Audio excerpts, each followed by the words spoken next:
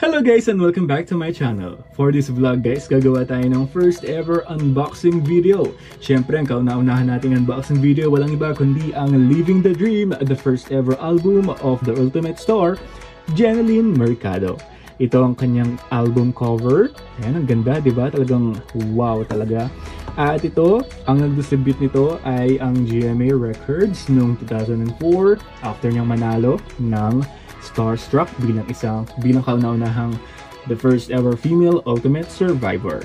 At ang nag-distribute nito ay ang Warner Music Philippines. Ito ang kanyang track listing.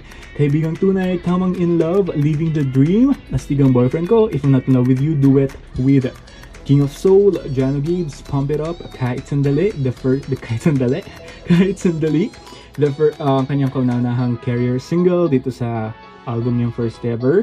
Sapat na minsan, The Power of the Dream, Starstruck, The Final Judgment. I-unbox na natin to guys. I'm very much excited. Let's go! Guguntingin, ah guguntingin. Ikakat lang natin siya dito. Ayan. So, hindi pa siya masyadong nakat. Kailangan eh kinakabahan. Alam nyo ba naging gold status ito at pinangaralan at pinangaralan ito sa SOP and then after that eh naging certified uh, platinum din ito, 'di ba? Ayan, oh my god, talagang nagdikit-dikit pa siya, oh. Ayan, so kinakabahan ako dahil syempre, first ever album ito at first ever unboxing ko.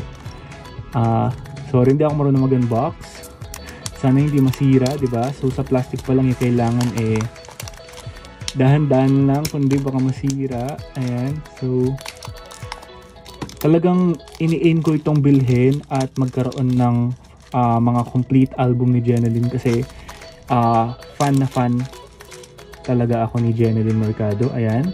So may mga konting plastic pa siya.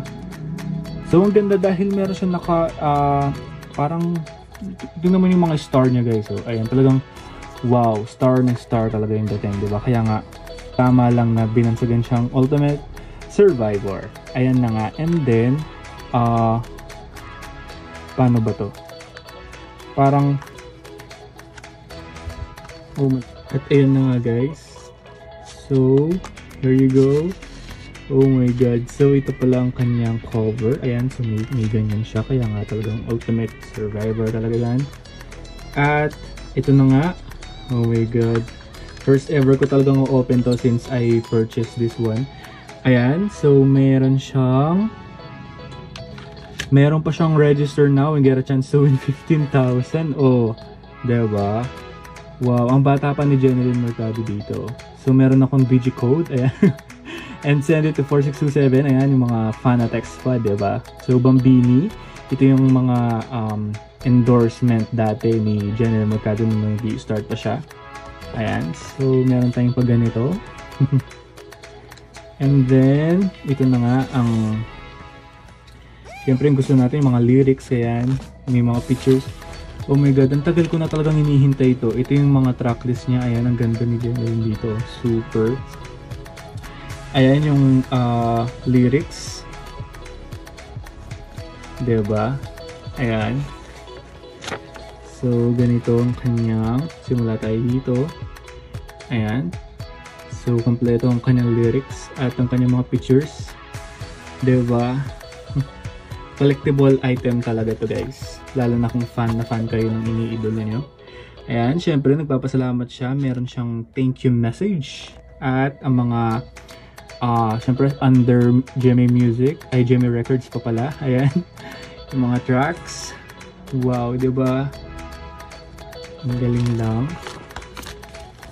Ayan. So, itong kanyang CD. Wow. Ayan. 'Di ba? Hindi ko pa yan nagagalaw. Nasira na yung dito niya, oh. And then, ayan. So, dalawa yung ano niya. Meron siya yung parang cover and then the mismong yung mismong ano niya sa CD niya. Yeah. And yeah, there you have it guys. Share ko lang guys, alam nyo ba yung mga kanta niyang ito eh memorize ko at alam na alam ko yung tono, paano kantahin dahil nga sobrang addict na addict ako talaga kay Jeneline Mercado. Ayan, kaibigang tunay, di ba? Ang ganda, may pagka-upbeat, di ba? Tapos ang tamang in love, napaka-cute lang. Ang ganda kasi ng uh, boses ni Jeneline Mercado kasi ang mature ng boses alam mo yun, parang hindi ka hindi nakakasawang pakinggan. And of course, The Living Dream, one of my favorite um, tracks dito sa uh, first ever album niya. Ang ganda lang, parang nakaka-uplifts lang. Uplift yung spirit mo. ba Parang may pag-asa pa sa mga gusto mo at ewan ko parang ang sarap pakinggan, 'di ba? Parang nakaka-motivate talaga siya. Ayan. As tigang boyfriend ko napakakwela lang ng kanta. Parang napaka-comedic ng com- comedic ng kanta niya. And I like it. Parang feel good lang talagang, feel good to listen to it. Until now talaga, as in, talagang it's on my playlist talaga siya lagi. If I'm Not In Love You, of course, nanalo din yan ng uh, Best uh, Duet Performance sa Awit Awards. At um, na-perform na rin ito ng live sa kanyang collab.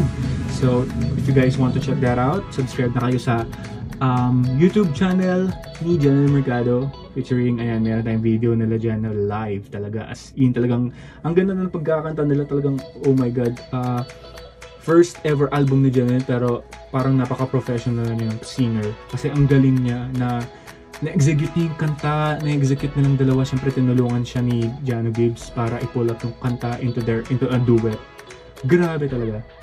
Pump It Up, napaka ano din, uh, jive, alam mo yun, parang ang ganda ng vibe ng music. Kahit sandali, of course, the first ever um, career single ni Genevieve Mercado na sobrang love na love din ng mga tao at kinakanta pa rin to ng mga tao uh, hanggang ngayon sa karaoke, di ba?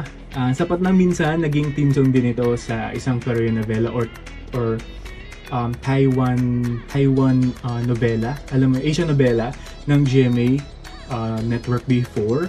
Ang alam ko ay parang sa kwento kwento to ng dalawang dalawang sister, alam mo 'yun, kambal if I'm not mistaken and ginawang OST ang sapat ng minsan. Ang ganda, ang baba ng boses niya dito pero ang lamig, nakaka-in love, 'di ba? The Power of the Dream, of course, ni-revive ito ni, ni John Mercado originally uh, song ito ni Celine Dion at ginawa niyang sarili, ayan, yung atake niya. And gusto ko yung parang meron siyang interlude doon na parang, ayan, better Jeneline na. Di ba? Sino nakaka-relate dyan? Ayan, di ba? So, grabe, ilang beses ko rin ito pinakinggan. At sobrang in love din talaga ako. Parang ang ganda na na-falsetto itong part niya doon. Sobra. I just love the song, the whole song she made it her own song. Hindi niya ginaya yung, syempre, kapag nagre-revive ka, it has to be on your own um, style. Ayan. So, ang ganda nung parang may pagkaano siya eh, dramatic eh. Ayaw mo mag-artista nung una. Diba? Ganun yun eh. Kung sino nakaka-relate dyan at alam tong kantang to, ayan, alam niyo yun. And of course, ang Starstruck, The Final Judgment, ginawang kanta niya rin ito.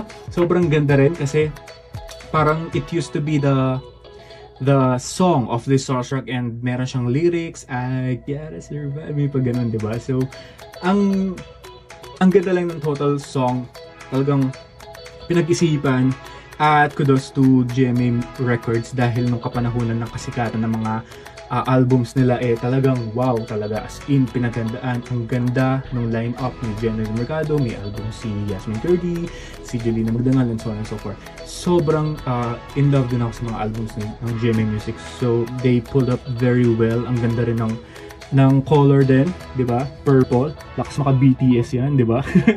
Ayan guys. So, yeah, there you have it guys. I hope uh, na-share ko sa inyo ito. And, yan, sana nag-enjoy kayo. Sa mga may copy nito guys, swerte kayo dahil uh, very rare na to at wala na, wala na tayo masyado na uh, nakikitang uh, meron pang binibentang ganito. Kaya, I purchased it and I grabbed it um, last year, 2020. And, yeah, so I'm so lucky na magkaroon pa ng copy na ganito dahil sobrang hirap na dahil yung mga CD ngayon hindi na talaga napapanahon because we're going digital na. And this one is uh, napaka-ano lang talaga. Um, parang uh, merchant merchant talaga siya ng iniidolo natin na si Desi na si Jeneline Mercado. Yeah, and that's it guys. Hope you nag-enjoy kayo and meron pa akong unbox na second album niya na Letting Go. Please stay tuned. Don't forget to like and subscribe.